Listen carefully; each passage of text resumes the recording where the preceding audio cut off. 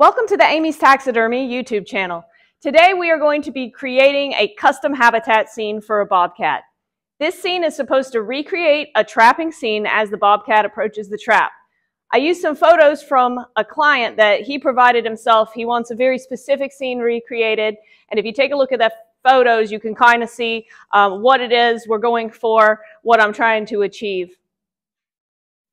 The client explained to me that a hole is dug into the ground that contains lure or a piece of meat that will attract the animal.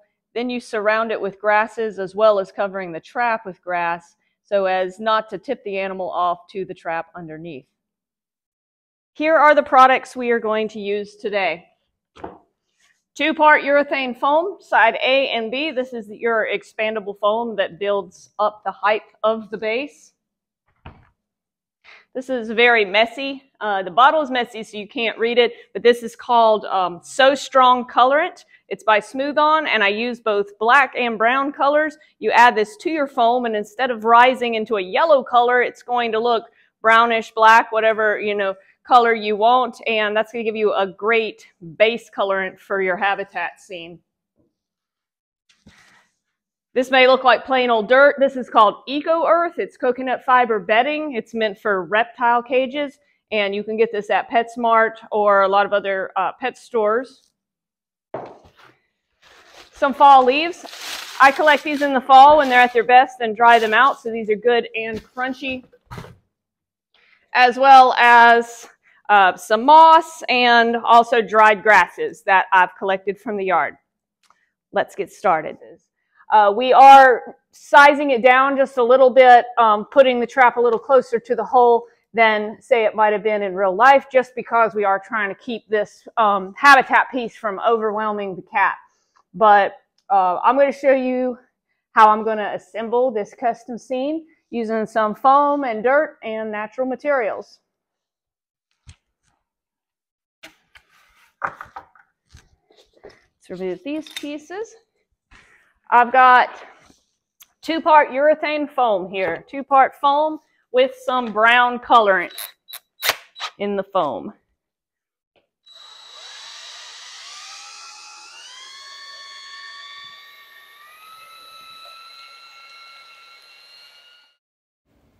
At this point, I have to switch to a voiceover recording because I put a respirator mask on for this part.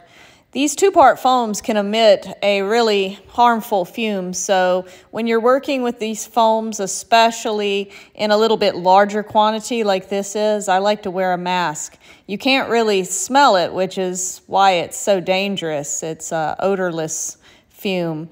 So as it rises, I'm working it around the base. You have about one minute tops to really work with this stuff, so be prepared to work fast.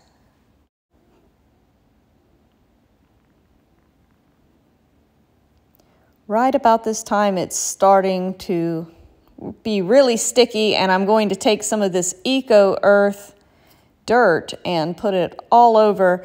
I'll put it on really heavily because later I can dust it off and actually retrieve the excess using the bag I have underneath and I'll be able to pour that back into my container and not waste it. While the foam is still kind of setting up and a little bit soft, I'll set that trap in place and here I go kind of forming the start of that hole that's going to be in front of the trap. The foam is still soft, so I'm just pulling it right off and creating a basic hole in the scene and giving that trap a footprint into the foam so it'll set in. Walking on it works pretty good at this point. It's still a little bit of soft, so I'll put some pressure on it. I just want to kind of have a deep well there to accept the trap.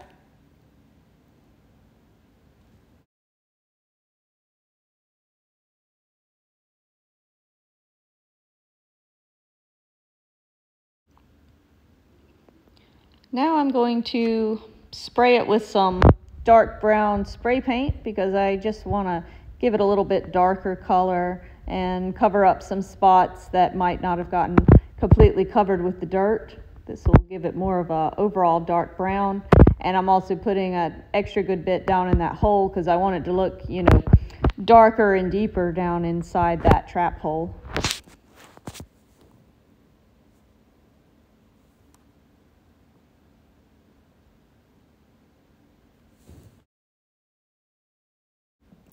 I hope you can see how this is really giving it some texture. It's not all one color now. It looks like the texture of the dirt and the natural earth.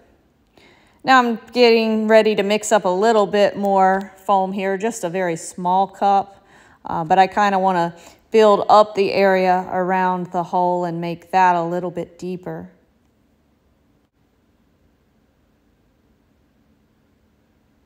Now it's risen enough for me to apply all around. And the nice thing about tinting it brown is that it really blends in well. You can build upon your existing scene and it's going to uh, blend in with just a little more of that dirt. You won't be able to see a seam.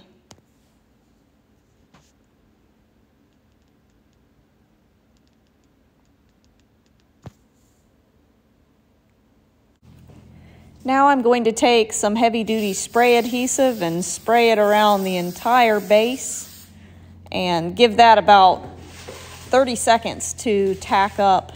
It'll be more sticky if you don't apply your uh, items right away, but I want to have it look like some leaf litter on here, so I just have dried leaves that I collected in the fall and dried out, and I'm crunching them all over the base here.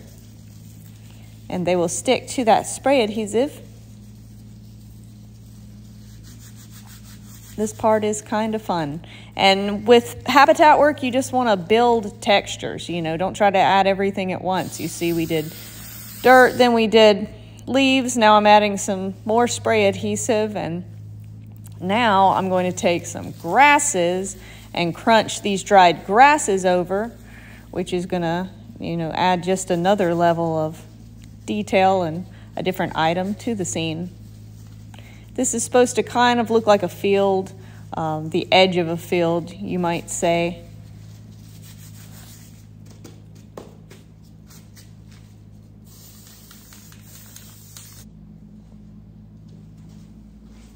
Let's add in one more layer. Now I'm doing moss, just some uh, dried green moss, and I'm shredding that all over the base. I really like working with moss. It looks good on just about any woodland scene or, in this case, uh, edge of the woods field scene. And now I'm going to set the trap kind of where it's supposed to go. And from here, we're going to be recreating that part of the scene where the hay is around that hole. The purpose of the hole would be to hold some bait or perhaps scent that would attract the animal. And it would be partially covered by hay or straw. The trap itself would also be covered with some hay so that the cat or whatever animal you're targeting wouldn't be able to immediately see the trap. But in the case of this scene, we are going to leave it exposed so that you can see the trap. So that might not be 100% accurate, but we want to be able to see the trap.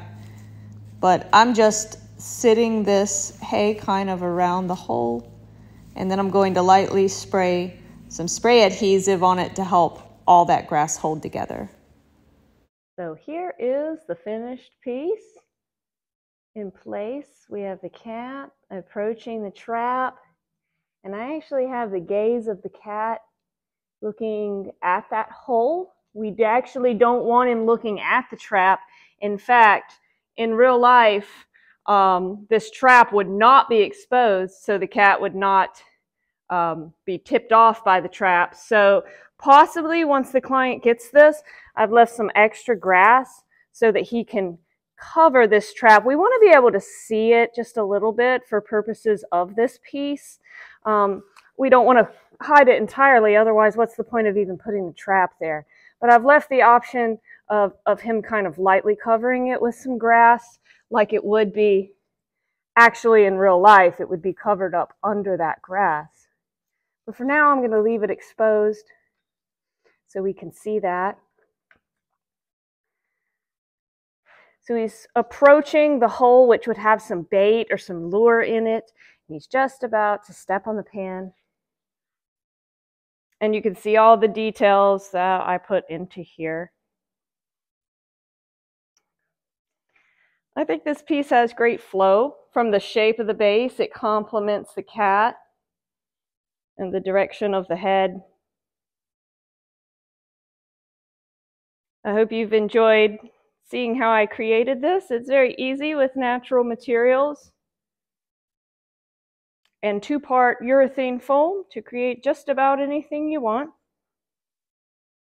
And I think habitat creation is one of the most fun parts of taxidermy. You can really get creative with it. So I hope this client loves it. I hope you think I've pulled it off pretty well. And uh, if you like this video, let me know and I will post more habitat creations in the future.